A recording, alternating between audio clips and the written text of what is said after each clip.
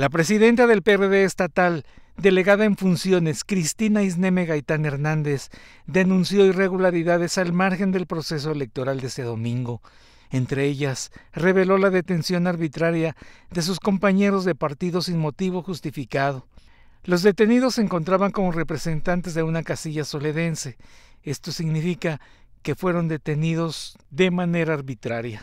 Cristina Gaitán exigió la inmediata libertad de los representantes de la casilla 1273 en soledad de Graciano Sánchez, quienes fueron privados de la libertad por elementos de la policía municipal. Queremos, en el caso de la Lomita, lo que más nos interesa es poder encontrar a nuestras compañeras, saber dónde están, en eso estamos desplegados todos para, para poder ubicarlas y eh, estamos con los abogados juntando todos los elementos. Yo espero que antes de que termine la jornada electoral ya tengamos las denuncias. ¿Cuántas mujeres? Cuatro mujeres.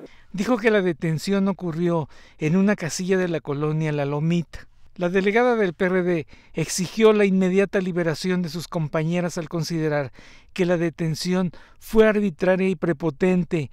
Ya avanzada la tarde, dijo que se desconocía el paradero de sus compañeros. La dirigente del PRD manifestó que los policías municipales se presentaron en la casilla donde encañonaron y amenazaron a los ciudadanos que acudieron a votar. Aunado a esta situación, dijo que en la comunidad San José la patrulla municipal 190 detuvo a una familia completa. En conferencia de prensa, los líderes de los partidos de la coalición Sí por San Luis ofrecieron muestras de solidaridad y apoyo a la dirigente perredista Cristina Aguilar.